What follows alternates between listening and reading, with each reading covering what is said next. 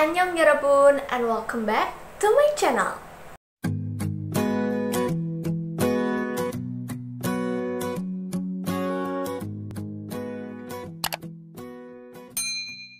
Di video kali ini aku akan bahas salah satu novel yang viral banget beberapa waktu lalu. Novel tersebut adalah Hujan karya Terelie. Yes, novel ini tuh seviral itu karena banyak dari temen-temenku yang baca novel ini dan rekomendasiin ke aku juga buat baca.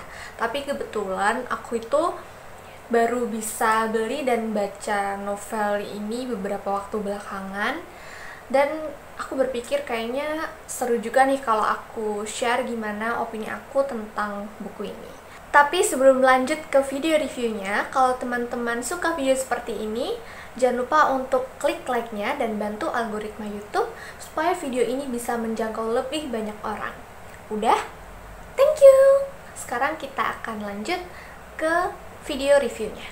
Terlebih dahulu, aku akan sampaikan sinopsis dari novel ini ya, supaya teman-teman tidak bingung nantinya. Jadi, novel ini mengambil setting waktu pada tahun 2050 menceritakan tentang seorang gadis bernama Lail yang sedang berada di sebuah ruangan tempat dia ingin membuang atau menghapus kenangan masa lalunya yang menyakitkan dan membebani dirinya.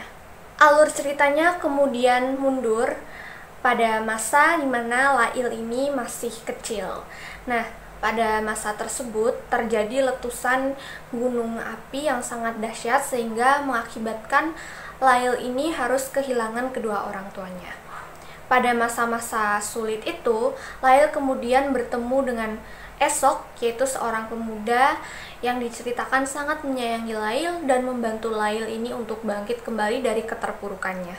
Singkatnya, pertemuan tersebut membawa keduanya menjadi lebih dekat lagi. Akan tetapi, suatu ketika mereka ini harus berpisah karena Esok harus menempuh dan melanjutkan pendidikannya kembali di luar kota. Nah, setelah kepergian dari esok, Lail ini kemudian bertemu dengan rekannya di panti yang bernama Maryam. Setelah bertemu Maryam, Lail menjalani hari-harinya dengan berbagai kegiatan positif dan mendedikasikan dirinya untuk membantu sesama. Lalu bagaimana dengan kisahnya dan juga esok dan kemudian ketika dua timeline yang berbeda ini bertemu apakah keduanya juga akan bersatu kembali? Lalu kenapa Lail ini ingin menghapuskan kenangannya?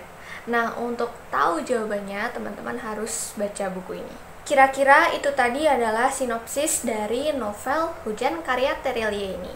Sekarang kita akan lanjut ke poin-poin reviewnya. Pertama aku jatuh cinta banget dengan covernya. Lihat dong teman-teman. Covernya cantik banget kan? Gila sih ini tuh cantik banget. Meskipun memang simple dan tone warnanya tuh hanya satu yaitu biru tapi eksekusinya tuh bener-bener bagus dan berhasil membuat aku buat gak bosen gitu untuk menatap covernya lama-lama Selain itu, terdapat untayan kalimat-kalimat yang disusun sedemikian rupa sehingga menyerupai dengan rintik-rintik air hujan. Nih, aku tunjukin ya. Tuh, kan mirip kayak air hujan yang jatuh gitu terus pas kena payung ini kayak bengkok meleot gitu. Ih, cantik banget sih. Dan menurut aku detail-detail kecil kayak gini keren banget. Kemudian di cover bagian belakang terdapat 5 kalimat singkat yang berbunyi tentang persahabatan, tentang cinta, tentang melupakan, tentang perpisahan, dan tentang hujan. Menurutku, kelima kalimat singkat tersebut cukup mencerminkan isi dari cerita ini. Jadi tanpa harus baca sinopsis panjang lebar, kita udah tahu garis besar cerita dari novel ini. Dan menurutku juga bakalan lebih efektif dan efisien karena singkat, padat, dan juga jelas.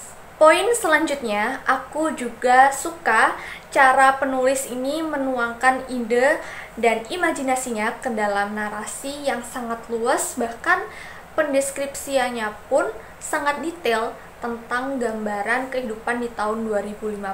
Tentunya menurut imajinasi penulis ya. Nah, cara penulis mengungkapkan bagaimana gambaran kondisi tahun 2050 di dalam buku ini salah satunya adalah dengan menyebutkan adanya teknologi-teknologi yang sudah berkembang pesat seperti adanya motor terbang, kemudian mobil terbang, dan inovasi-inovasi lainnya. Dan hal-hal tersebut itu benar-benar dideskripsikan dengan detail gitu guys. Jadi super seru banget pas baca buku ini. Kemudian ketika baca buku ini, aku seperti mendapatkan pengalaman baru gitu loh dengan menjelajahi kehidupan dunia tahun 2050. Ya meskipun itu hanya dalam imajinasi ya, tapi Menurutku, hal tersebut merupakan sebuah pengalaman membaca yang sangat seru. Terkadang aku juga suka berpikir bahwa mungkin saja beberapa imajinasi dari penulis tentang kehidupan di tahun 2050 yang tertuang dalam novel ini bisa saja benar-benar terjadi gitu karena mengingat sekarang SDM-nya itu sudah semakin maju dan kreatif. Oke, okay, jadi itu tadi adalah beberapa poin kelebihan dari novel Hujan ini. Sekarang aku akan sampaikan beberapa poin kekurangannya yang tentu saja berdasarkan dari opini aku. Yang pertama, ini entah kenapa ya, aku tuh kayak concern banget gitu loh sama ending sebuah novel atau cerita. Karena ketika baca ini aku kayak rada cringe gitu loh pas baca di bagian-bagian akhir gitu. Menurut aku di bagian endingnya terkesan dipaksain gitu loh. Tapi again ini menurut aku ya mungkin menurut teman-teman berbeda bisa komen di bawah. Aku juga merasa bahwa karakter dari esok di novel ini tuh seperti kurang kuat gitu. Apa mungkin karena di bagian pertengahan cerita ini scene dari esok itu sendiri tidak begitu banyak disinggung dan karena uh, intensitas pertemuannya dengan Lail juga tidak terlalu sering aku juga kurang tahu. Tapi yang pasti ada beberapa hal dari karakter esok ini yang masih menjadi pertanyaan gitu buat aku But other than that, aku cukup enjoy dengan cerita ini. Aku juga suka banget pada bagian di mana Lail dan Mariam ini berusaha untuk menyelamatkan penduduk sebuah desa yang hampir saja terkena bencana karena tanggul waduk atau bendungannya itu jebol. Dan menurut aku itu adalah sebuah aksi yang cukup-cukup keren dan sangat inspiratif. Dan karena ceritanya itu ringan, terus bahasanya mudah dipahami, serta alur ceritanya lumayan cepat, jadi cocok banget untuk dibaca pemula. Karena kalian kayak nggak perlu mikir dua kali gitu loh ketika baca dan nggak bakal bosen juga, sebab ini alur ceritanya tuh nggak yang lambat, lama, dan bikin bosen. Overall, aku kasih rate novel ini 6,5 per 10 kalau teman-teman sudah baca novel ini bisa juga share pengalaman ataupun kesan kalian setelah membacanya di kolom komen bawah. And I think that's all for today's video. I hope you guys enjoy it. And if you guys like this video please give me a thumbs up subscribe if you haven't already ring the bell dan juga kalau teman-teman ada request bisa komen di bawah and I'll see you guys in the next video. 안녕!